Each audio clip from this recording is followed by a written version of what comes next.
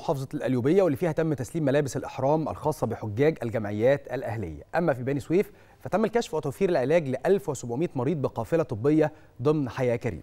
كمان في الشرقية تم توريد 593 ألف طن قمح للشون والصوامع. وفي الإسماعيلية هيئة الرعاية الصحية أطلقت حملة اطمن على ابنك مجانا. خلينا نتابع التفاصيل.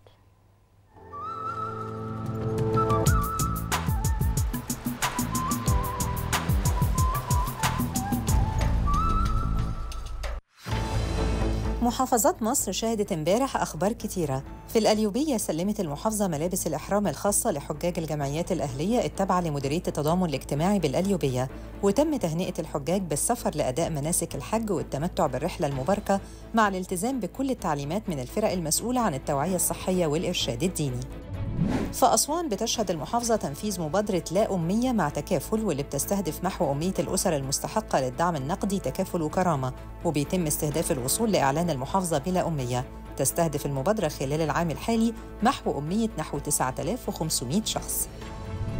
في بني سويف شهدت المحافظة قيام إدارة القوافل بتنفيذ قافلة طبية على مدار يومين بقرية طما فيوم مركز أهناسيا ضمت 8 عيادات طبية وتم الكشف على 1710 مريض وصرف العلاج ليهم بالمجان.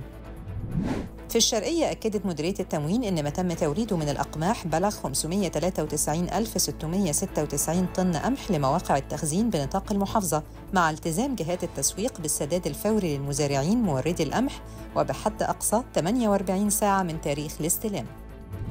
في أسيوط أعلنت شركة مياه الشرب حدوث ضعف في ضخ المياه بالأدوار العليا بقرى ومدينة مركز القوسية في محافظة أسيوط نتيجة أعمال الغسيل رقم واحد الشرقي بمحطة مياه القوسية المرشحة. وذكرت الشركة أن هذه الأعمال تستمر لمدة ثلاثة أيام حتى بعد غدا الاثنين الساعة الثامنة صباحاً. في الإسماعيلية أعلن فرع هيئة الرعاية الصحية انطلاق حملة اطمن على ابنك للاطمئنان على صحة الأطفال وبتشمل الحملة المشتركين في التأمين الصحي الشامل وغير المشتركين.